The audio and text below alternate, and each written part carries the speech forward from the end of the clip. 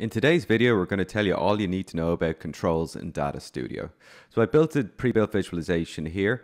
Uh, it's on the Iowa Liquor set. Have my sales and profit by vendor in dollars. I have a scatter chart here, which has sales in dollars and profit in dollars on a scatter graph by category. And I am going to just uh, increase that up a little bit. So 50 categories in there. And then down below, I have a bar chart which gives me my average profit per category. And I want to create some controls or filters that are going to filter this graph down to give us more insights. So to add a control in Google Data Studio, just click control and select from this list.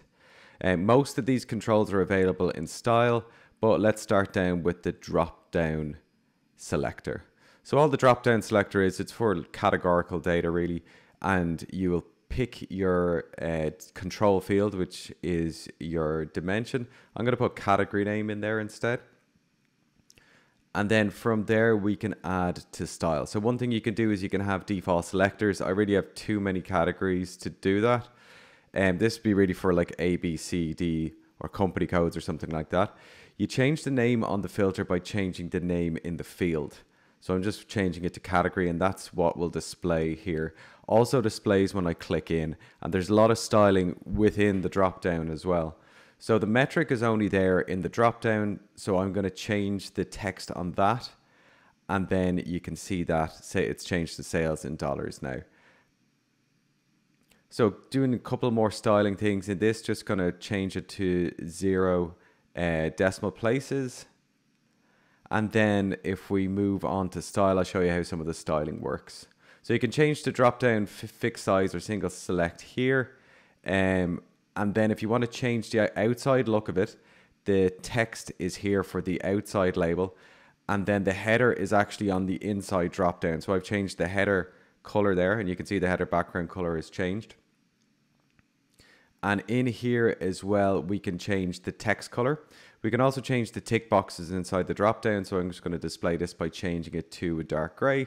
And you can see that the tick box is there. So a lot of different styling options you can use. You could, there's three different styling options for the tick box. The background color is the background color on the outside of the drop down. So we can change that to wherever we want. I'm just going to reset that there. And then more of the customization options there is a search uh, option available where you can search inside the filter and then choose your category. You can click that on or off. And it's, it's an extremely useful tool to use. So then from here, we can turn that search box off. So that's disabled now. We can change this to single select so we don't have multi-select that we just have a single selector in here and we can select a single category. So this if you want to restrict people to single selects. Um, and then finally, this is another uh, type of of control. It's a fixed size. So the fixed size would be when you have a small number of categories, you, you can just display them all down the side of the page. But for this one, we're going not going to use that because it's not um, it's not the best for what we're looking to do. So the next type of filter is an advanced filter, and this is still really for text.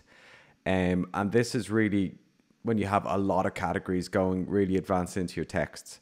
So within vendor name here, I'm just going to change this to category actually. Within category, I can choose a contains string. So if I want something that contains, say, scotch, I just type in scotch and then below you can see that these are the two that contain scotch. Now this is a case sensitive filter. So if I want something in two cases, what I can do is either do a regular expression or choose an in statement where I can go in to full search string. So I've got in single malt scotch, in single malt scotch in capitals, and that's picked up in my in statement. Really not something you get people to do too much. It's more for just kind of um, dashboards with a lot of information. So next thing I can use for, um, next thing I can use more for numerics is I can use a range filter.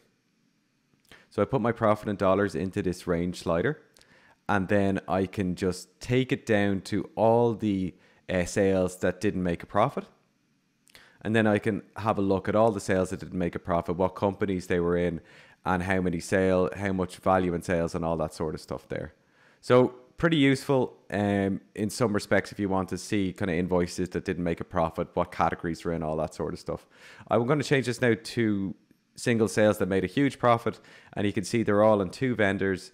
There was a good amount of sales in different categories as well. So probably the most useful filter out of all the filters is the date filter, and that's because we can bring in extra fields into your most of your graphs with the date filter, and I'll show you how to do that now. So first I'm going to start by selecting a date range. There's a lot of ways you can do this, um, all by auto. If you want an automatic dashboard, it's like last seven days, last 14 days, this week, this month, this quarter. So super useful there. You can even do very advanced if you want to and get down into the number of days since a certain date. Um, I'm not going to do that here. I'm just going to select uh, last year just to show this uh, comparison um, functionality within the tables and the scatter plots.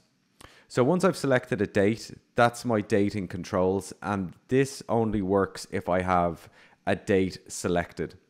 So I have a dating controls there and then I can select a comparison date. So I'm going to compare last year's sales to the previous year. Normally you would also go a previous period because that means that anybody can set the you can set the timer to whatever you want like 14 days a week and you can see the previous week but this actually brings in a control this brings in a new metric in it tells you percentage you can change that to absolute as well not all visualizations have this like the bar chart doesn't have this but the scatter plot does as well so I'm going to do the same thing but instead of previous year I'm going to compare this to the previous period and this will bring in points from the previous period a few too many there to make any observation. So I'm just going to go into style and reduce the scatter plot down to my top five. And you can see now that there's um, there's previous years and current years. And there's different styling you can do in this as well. But it's really, really useful uh, functionality there. Another option is in visualization filtering, you'll go down and add a filter to the visualization itself. Quite a prescriptive one, include, exclude certain fields, but we're just focusing on controls in this video, so I won't go too deep into that one today.